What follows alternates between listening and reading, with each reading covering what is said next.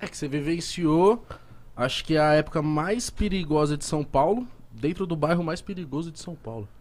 Que é o que dizem, né? Mas- É o que dizem. Que era o mais perigoso de São Paulo. Do Brasil, então. Do mundo, Do né? mundo, exato. Do mundo. Caralho, mano.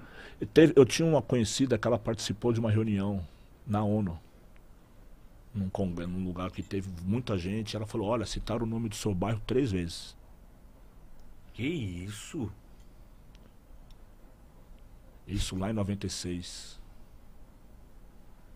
Não sei se Nossa. ela era jornalista, escritora, é uma coisa assim. E ela tava lá, é, jornalista, eu acho. A música salvou sua vida. Ela salvou, é, salvou e, e não tem como dizer que não, né? Então eu comecei a pregar isso. A salvação através da música e tal. Ah, Eu acreditava nisso com muita. Contundência.